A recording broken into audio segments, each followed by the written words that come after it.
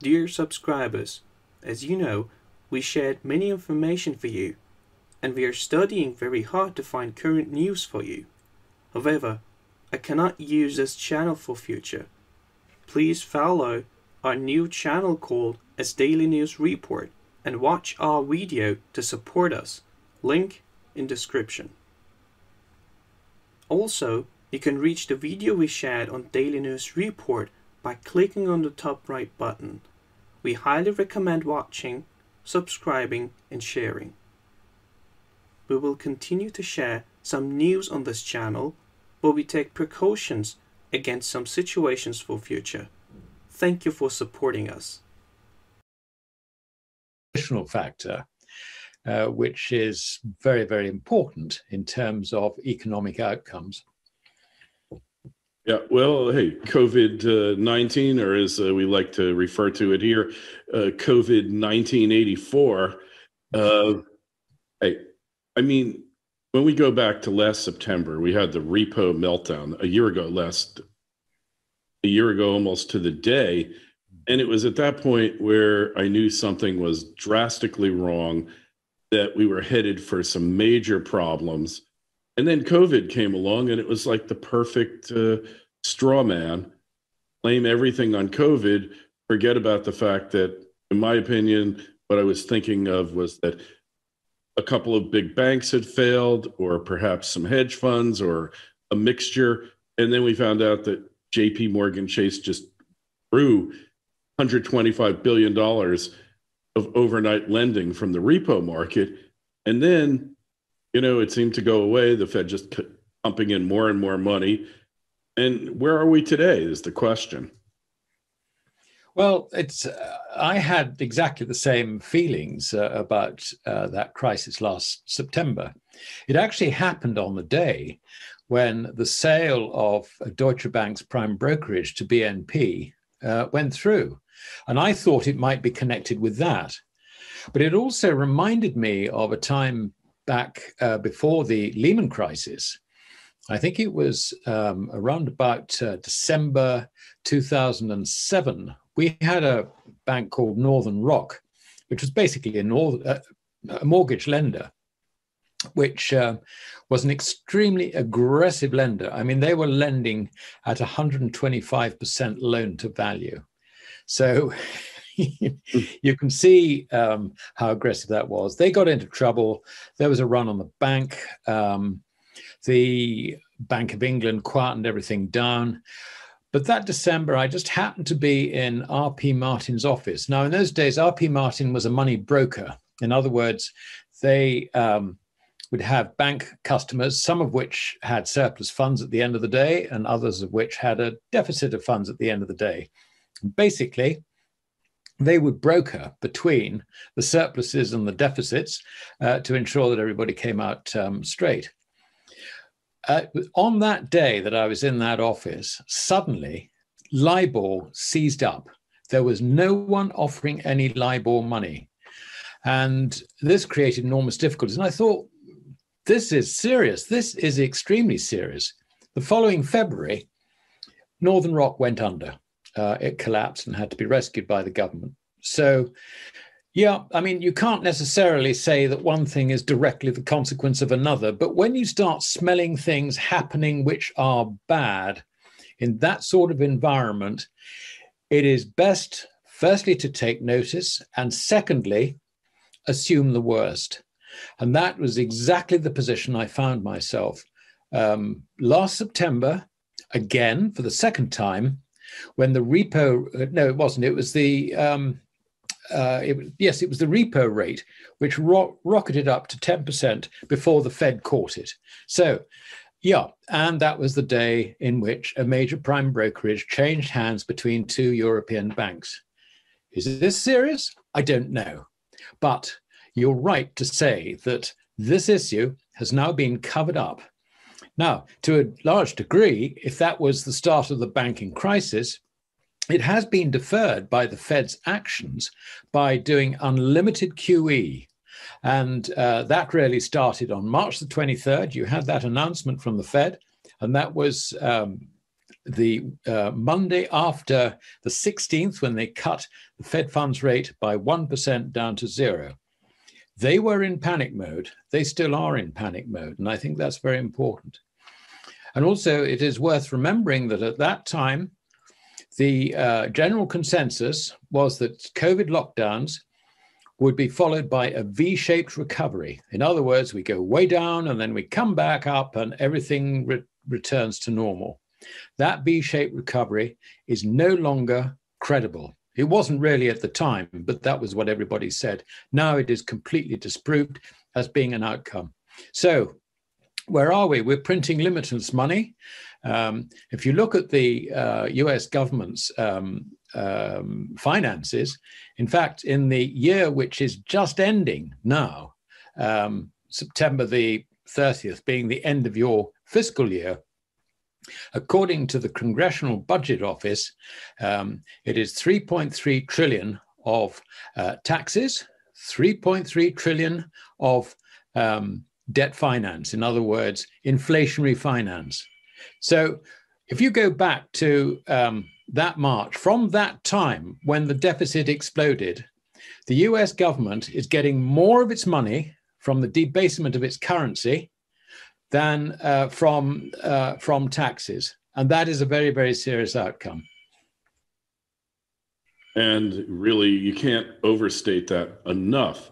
Of I don't know if you were familiar with this uh, cartoon show called South Park in the U.S., but uh, it's a satire, and one of the things uh, South Park uh, basically they cut off their credit lines, and therefore the the town just goes down the dumps. I mean, they have like what you would call a depression, and at that point, um, Stanley is trying to. I think if I have it right.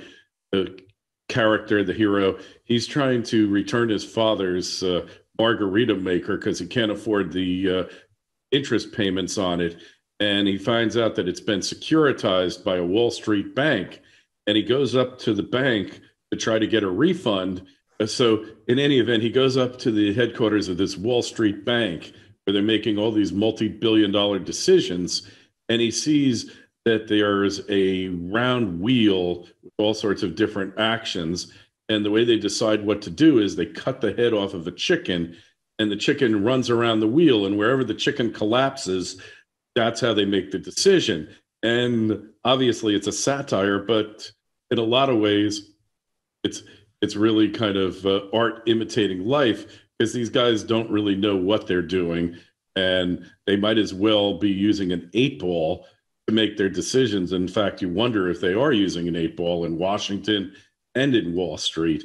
And then uh, Stanley's able to get a refund on the on the margarita maker, and they up his he gets an unlimited credit line on his American Express card, and he comes back to the town, and he basically he becomes like a, a primary lender, and he uses his unlimited credit card uh, limit to allows everyone else to attach to his limit and then South Park is saved because the credit spigot's back on and everybody can keep spending. And you know, it's uh it's a little bit way out there, but in in a in a kind of twisted way, it's exactly what we're seeing now, minus the heads of you know dead chickens uh, bleeding all over and picking the next action. Are you sure about the chickens? Well, I tend to believe that you know there are a they're a very genteel, seemly lot. They don't uh, go for you know animal uh, sacrifice, at least not in the office. Maybe after work, animal sacrifice is okay. Maybe human sacrifice is uh, okay as well. But in the office, no. No. I think the underlying point um, is that uh, the Fed actually has only one solution for everything, and that is just to print, print, print, print. So the, the creation of yet new money, if you like, and sort of the point about the credit card, um, is the only thing the Fed knows. And uh, if we are right, and that is that we should have listened to what was happening in the retail, in the repo market way back last September, a year ago, then that money printing has only just started. And uh, the, the whole basis of the Fed's approach is to sustain uh, uh, a financial um, asset bubble. And at the center of the financial asset bubble is US Treasury debt.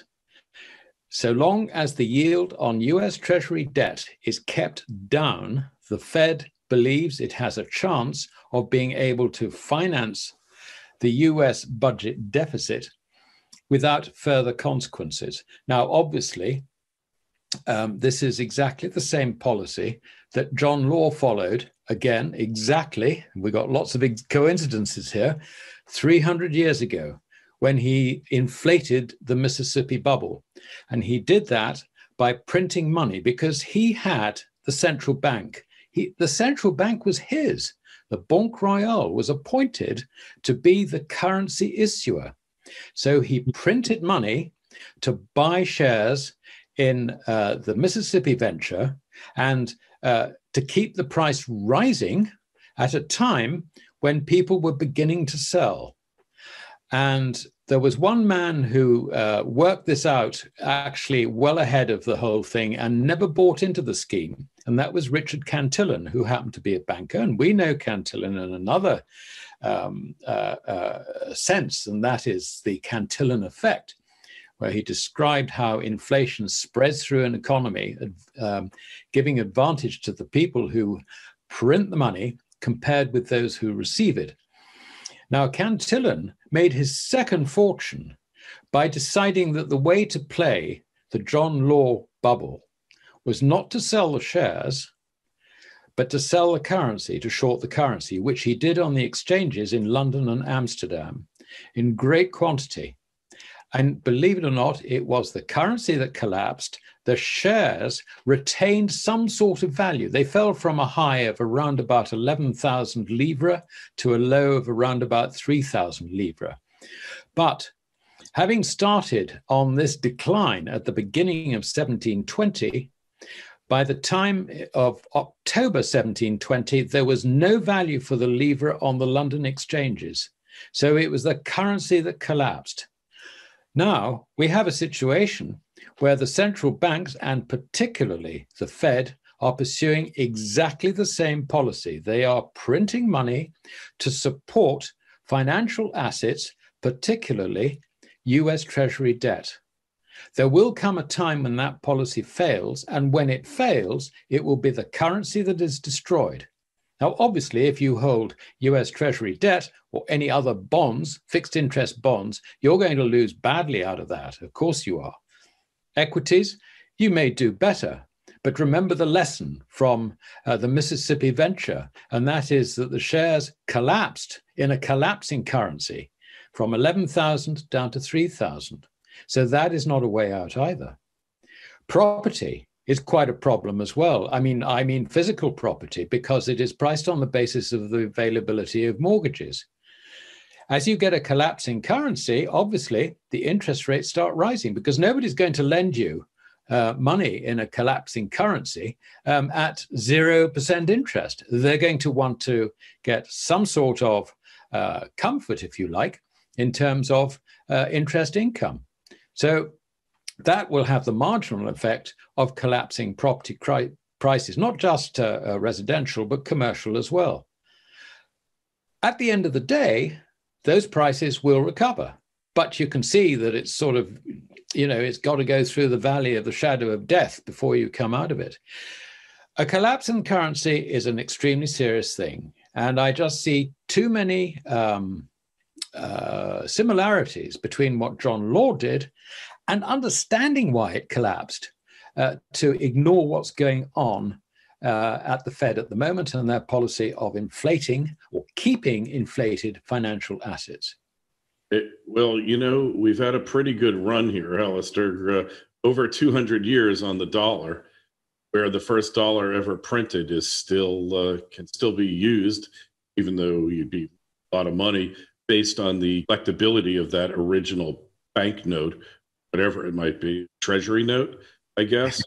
Uh, it's probably worth 10 times its face value as a collector, collector's item. But uh, on the other hand, we've got people saying, well, while all this money is being created, got lots of money being destroyed because there's loans that can't be paid back. There's trillions of dollars in municipal bonds and trillions of dollars in all sorts of corporate loans that won't be able to be paid back, mortgages that won't. So is inflation the way, or do we wind up deflating, or do we inflate first and then deflate? Uh, I'm just curious about your opinion there.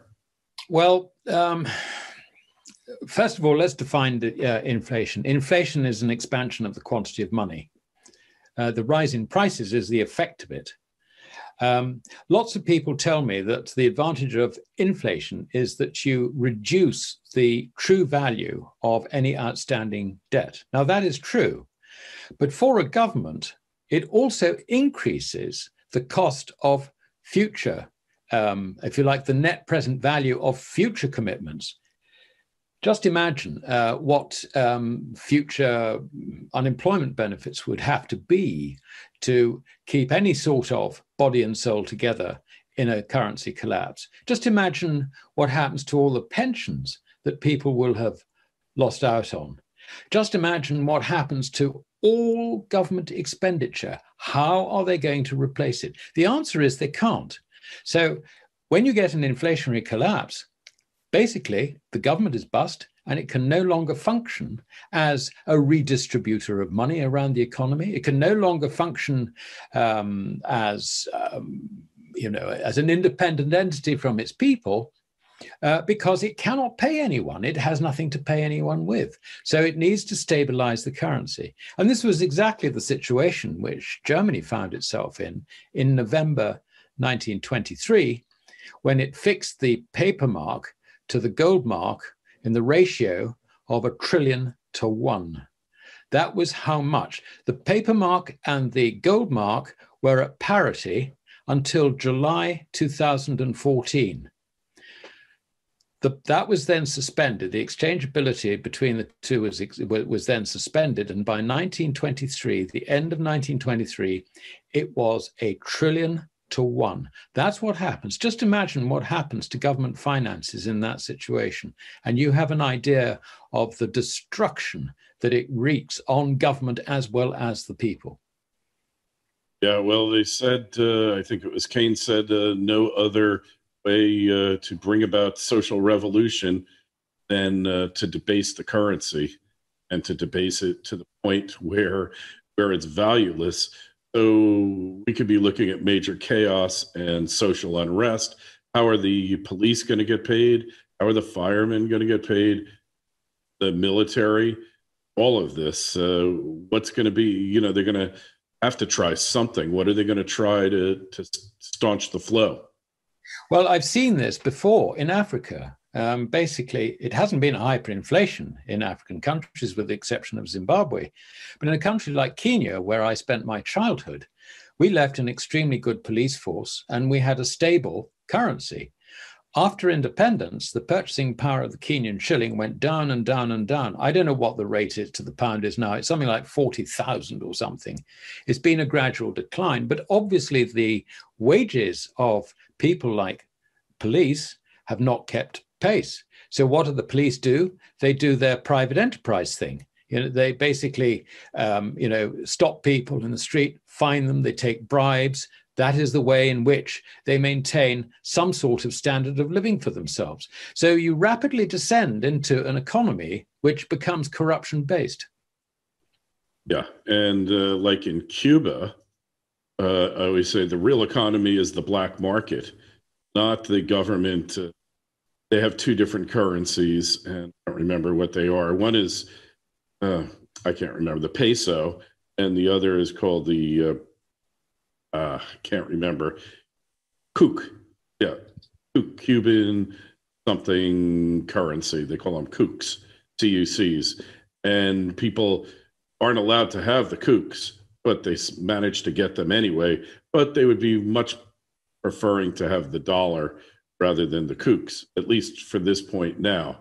So I guess uh, kind of get into some type of Cuban thing. I mean, crime is bad now, social unrest is bad now if what you're saying comes to pass. we'll have complete anarchy. I'm afraid so. And uh, we, the comparison, if you like, with uh, Germany in 1923, there is one big difference, and that is that in 1923, there were stable foreign currencies which circulated in Germany, and business uh, towards the end of the inflation basically made sure that prices were fixed in an adjustable um, way. In other words, the, the rate was fixed. So if the rate at that particular moment was 100,000 paper marks to the uh, gold mark, um, that was the, that was the rate that was fixed in the contract. So if the paper mark went down further, the business didn't have um, that problem. Uh, so you can see that there are ways in which this situation can be handled. However, this time we have a real problem with the dollar, as I described the John Law uh, simile, uh, and uh, that is the major currency. We have no gold backed fiat currencies in the world at the moment. And consequently, there is no escape from a collapsing dollar, and everything will go with it. Of course, people tell me that um, there will be a reset. There is a, a, a widespread expectation that there will have to be a currency reset. But that presupposes that government actually knows what it's doing. I'm sorry, governments all around the world and their central bankers have no idea of what they have unleashed by this infinite money printing. Well, it's definitely cause for concern. I guess uh, I fall back on the thing. The situation is always hopeless, but never serious. This sounds pretty serious, Alasdair. I think it's pretty serious. And I think it's important that uh, all our friends uh, prepare themselves for it. And the only way in which you can do that is to have some sound money under your belt uh, for those very difficult times. Um, I'd strongly recommend that. I'm not giving investment advice, I'm giving money advice. Obviously, the sound money is gold and silver. Obviously, and we've seen them make quite a move. They had a little pullback over the past couple of weeks. Looks like that's coming to an end rather quickly. But uh, what about cryptocurrencies? What's your take? Are they going to survive this? Um, it's a difficult one. That um, there is no doubt that there is a movement um, under cryptocurrencies which is pushing them better all the time. Um, uh, well, more or less all the time. There is a belief that Bitcoin, if you like, can operate as a new monetary standard. And this is purely on the basis that um, the uh, issuance of new Bitcoin is um, is known in advance, and it is very strictly limited. Um, quite a lot of Bitcoin aren't in circulation, like they might have been lost, if you like, in the early days. So. Um, you know, just looking at it from that point of view as a store of value, there is an argument that can push it higher. However, the world actually works on gold and silver as the people's money, not an electronic invention. And when we return to gold and silver, the question then is how will Bitcoin be priced in gold and silver? I think at that stage it will be merely exposed as a very speculative counter. But having said that, there's probably a long way to go in in uh, uh, sound, relatively sound uh, cryptocurrencies like Bitcoin, because everybody's got a mobile phone. Um, you know, they can buy and sell the things on a mobile phone. I mean, you know, the, the, the potential for a Bitcoin bubble, I think, is absolutely enormous. But I, at the end of the day, I come up with this problem. How are you going to price Bitcoin in gold? What is the point of pricing Bitcoin in gold? Probably none at all. With gold, you can do your transactions you could change things so that um, uh, you know gold backs your um, your Visa card, your debit card, whatever. I mean, that can all happen. The technology is there to do it, but the ability to do billions of transactions a second in a cryptocurrency like Bitcoin is just not there. So it would fail, I think, at that stage as money. All right, and it's never really been money. It's uh some kind of hybrid asset. We'll call it that. It's not money, obviously. A, a store of value, maybe, is about all you can say, I think, at this stage. Yes. Perhaps. And that remains yet to be seen. So obviously, gold money is a place to go. getting physical bullion, various funds that are out there. What's going to happen in a place like Canada if the the loonie becomes worthless? Are they just going to sit back and let uh, Eric Sprott have this huge stack of metal and uh, not come calling and expropriate it? Well, we're going to be, we're really down to the question of property rights. And uh, Canada is actually pretty good on property rights as such. I mean, you know, they may tax you to death, but um, uh, they would, they, I think, I think um, they are unlikely to actually, uh, if you like, physically take property. Um, and, you know, people like Eric, um, you know, if if uh, that is what the Canadians decide to do, then he just gets on a plane and says goodbye. This is the problem. You cannot rob people of their wealth if they have a lot of wealth and expect to achieve anything. People just go. I mean, in the UK, our richest man, who's a chap called Ratcliffe, um, uh, has uh, decided that he's decamping down to Monaco. So he's gone to Monaco, and according to a newspaper I read, um, Her, Her, Majesty's Inspector of Taxes is losing uh, four billion in tax. Just one one man, bang, like that. So you know this it, this is a lesson, if you like, and this I think, in a sense, is why uh, governments at the moment are reluctant to increase taxes because they realise the economic effect uh, would be extremely negative. So um, what are they doing? They're printing money instead. That's another reason why it's print, print, print, print. Hey, and in New York City, we're seeing exactly the same thing. People leaving the city have been for decades now because of overtaxation, confiscatory taxation rates. And now they're leaving because of social unrest and spiraling crime rates. So they're coming to places like Florida, like Texas, and other states that uh, that they perceive to be safer. And these states have had like a major shot in the arm. What they're going to do with these uh, states as they fail, you know, we're going to have uh, 35, 40 failing states. And that's, uh, that's a scary thing to think of. Well, it's an extension, if you like, of uh, the failure of government. Um, you know, whether it's central or whether it's local, I'm afraid failure is failure and the failure in government are uh, kissing cousins. They go hand in hand. Eventually, every government program, every government system, it all fails. So your only hope is precious metals. You guys in uh, the UK can't even go out and buy guns. At least here in the US, that's still possible, but you have to get on a waiting line. Pretty soon they'll be rationing guns and ammo if they're not already. But the free market is the ultimate uh, rationing device. We've got free prices on ammo and guns, so they're going up. Those companies making more money, and people are paying more. Another case of uh, firearm inflation, ammo inflation in the United States, prices going up. Well, you've given us a lot to chew over here, Alasdair. Uh, hey, where's the best place to go read your work and uh, latest articles? Yep, uh, goldmoney.com. Um, I publish an article every Thursday under the research stroke insights um, tab. And uh, the other thing I do is I do a market report on gold and silver every Friday. So, so those are the those are my two my two moments, if you like. Uh, Thursday for the insight and Friday for the market report. Okay, and uh, if you sign up for the mailing list, they send uh, Alasdair's article to you like clockwork every week. I get it. Highly recommend it. Any questions or comments? Why don't you email us? kl at kerrylutz.com. Make sure you go over to the website, financialsurvivalnetwork.com. Sign up for your free newsletter. Alasdair, I'm sure we'll be talking again soon.